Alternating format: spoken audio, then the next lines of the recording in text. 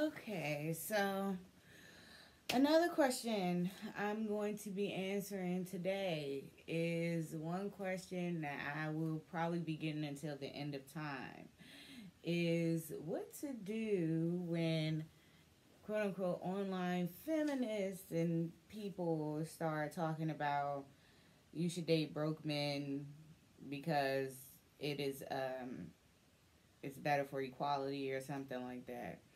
First of all, you shouldn't be listening to a lot of people on the internet anyway because a lot of people on the internet do not have any common sense or have never met a poor person in their life. A lot of these kids are kids who sit behind a computer and just say whatever's popular whatever's popping so that they can get some interaction and seem radical.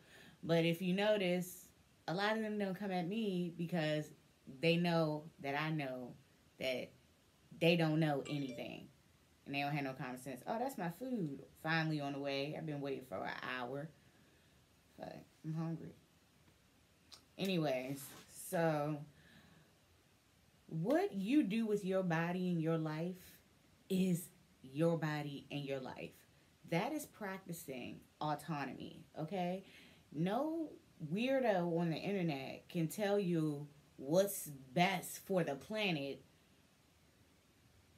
about what you're doing with your own pussy. Okay? It is your own pussy. You can do whatever the fuck you want to do with it. Stop listening to those weirdos on the internet because they don't have a life and they are weird. Okay? They don't even know what they're talking about. They're just talking in circles. They don't they're just trying to get some fame or some clout or something. Stop listening to them, okay? Because they have no common sense. So, um, also, you know, that's their culture. Okay? we over here are the winning team.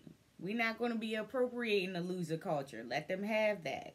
If they want to fuck all the broke men in the bed with the roaches, that's their culture. Okay? That's their culture. And we will not be appropriating that. We're going to respect that culture by not participating in it and leaving it up to them. That's how we going to do that. And, uh, yeah, that's how you carry that. So if they come at you with that, you just tell them that's your culture and I respect you and your culture so much that I'm not going to ever participate in it. So leave me the hell alone with this whack ass weirdo bullshit. And that's how you handle that one, ladies. Hit me up on Actual Black Mermaid on Instagram or Imani underscore Yvonne too. And I love you.